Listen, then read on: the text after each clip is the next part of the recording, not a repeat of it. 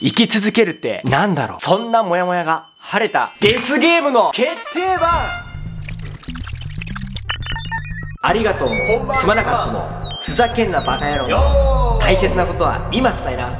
だって俺たちは今日死んじまうかもしれないんですねカメラ OK 音 OK リアクション OK 用意スタートはいどうも皆さんこんにちは。監督ラボの監督です、えー今回はですね麻生春さんの今和の国のアリスレビューをしていきたいと思います。こちらですね週刊少年サンデーで2010年から2016年まで連載されておりました。現在はですね全18巻で完結しております。あらすじはですね平凡でつまらない日常落ちこぼれのアリス良平がですねある日突然巨大な花火とともに別世界に行きます。まあ別世界といっても人が全くいない世界。この世界ですねゲームをクリアしなければ頭からですねビームがビャーンと来て死んでしまいます。というわけでですね強制的に容赦ないディスゲームバトルに参加することになる。そういったお話です。監督ラボで紹介する動画はですねもう全てですねおすすめしたいものを出しております。今回今までの国のアリスに関しては大きく2つに分けておすすめポイントを言っていきたいと思います。まず1つ目ゲームがシンプルで分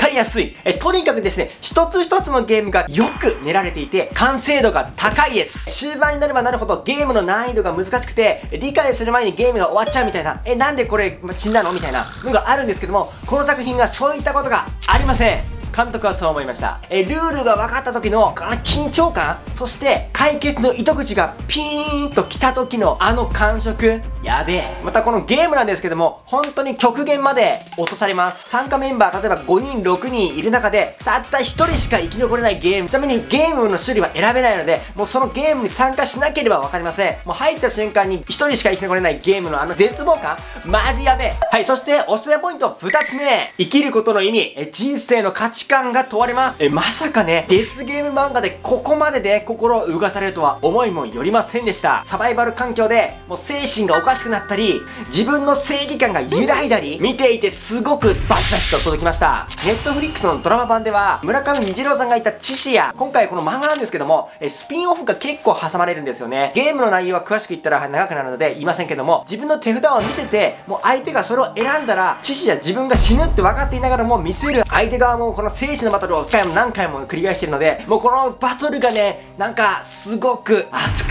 ったです。現在ですねやっぱりそのコロナの状況で肉体的なところとあとそれとは別にですね生活が苦しくて精神的にっていう方もいると思いますがえこのデスゲームバトルを見てください。まあそういった苦しい人はねこのデスゲーム見るかって言ったら見ないと思うんですけどもでもね見てほしい。自分が死にたいものを信じれ。最後の最後まで抗えと。お金がなくたって心だけをしっかりと保っていれば辛いことも乗り越えられる。ねそんなね応援メッセージをこの漫画から読み取らせていただきました。でその生き方に関係するんですけどもえ登場人物ですね。ネットフリックスドラマだとえセカンドシーズンの冒頭からおそらく入ってきますチーム戦ですね。難易度がスペードのキング。もう最強難易度でスペードはチーム戦です。でアリス良平率いるメンバーとあとはキューマ率いるメンバーがいてこの戦いなんですよ。でどっちかのチームしか生き残れないって言ってその相手側のトップがキューマとにかくまだキューマ全裸です。もう冒頭始まってからゲーム終了までもう全てずっと全裸です、まあ、監督裸族ですっていうわけじゃないんですけどとにかくねもう生きき方がめちゃくちゃかっこいい。でこのゲームなんですけども数取りというゲームです。エントリー人数は5人、まあ、5対5ですね。凶器は全て募集されて腕に腕輪がはめられて手を触れることによってどっちのポイントが高かったら勝てる。500ポイント取られるみたいな感じでその陣地を守りながら最終的にどちらかのポイントが高い方が生き残って負けた方が死んじゃうみたいなゲームとなります。えキューマ銀次ですね。名言を紹介したいと思います。ありがとうもすまなかったもふざけんなバカ野郎も。大切なことは今伝えな。だって俺たちは今日死んじまうかもしれないんですね。まずは自分を大切にね。誰かを大切に思うのはその後でいい。というですね、他にもたくさんの名言を出してるんですよ。全裸だからこそ、全てを受け入れる。もう何も隠さない。例えばそのゲームでもし自分が負けて死んでしまったとしても、後悔はない。そのゲームに立ち向かっていくそのかっこよさ、男気、男気とか関係ないか。そこがですね、もうかっこいいなと思いましたね。相手を潰してまでも生き残りたいっていうやつがいるんですけども、キュータは違う。もちろん勝ちたいし、生き残りたいし、やりたいことはある。でも負けたら負けたで、もう正々堂々と勝負しようみたいな。そんな形で、ネクストステージの数取りがですね、見られます。いや、このゲームすごく熱かったです。というわけでですね、この作品を見てですね、何を目的として生き続けるのかというのをですね、究極的に問われます。各キャラクターそれぞれですね、魅力がありまして、まあ、それなりの理由もあって、もう結構理解できる部分もあります。ここまで人を裏切ってまで生き続けるのかとか、そういったところまでですね、深く深く掘り下げられていました。自分の正義とは何か、生き続けるために何かを犠牲にすることとは何か、それをですね、本当に追求、追求、追求、追求されておりましたしたので、もうぜひね、方に抱いている方は見てください。日々なんとなく日常的にただ一日の繰り返しだなって感じてる方はもうぜひこの漫画見てください。何かしらのですね、糸口になる可能性があります。ちなみになんですけども、えこの作品全18巻で、え完結したのですが、な、なんとですね、20年12月11日ですね、リトライという作品が出ました。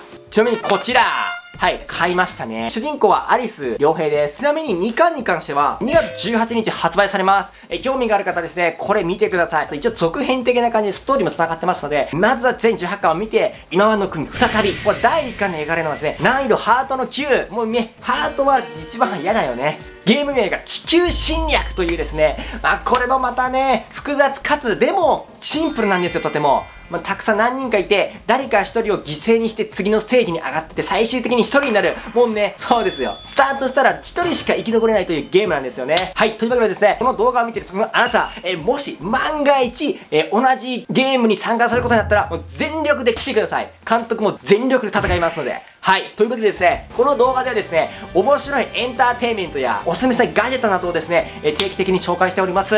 え興味がある方はですね、チャンネル登録をして、他の動画も見てください。というわけで、また次の動画で会いましょう。今はの国のアリス、えこちらを全、全18巻、えー、ネクストネクストステージのスだからここまでやって生きる生きる生きまあ、また強く強く強くね生きていくくらい。というわけではい。この作品めしおおこれもおすすめです。ちなみに2巻に関しては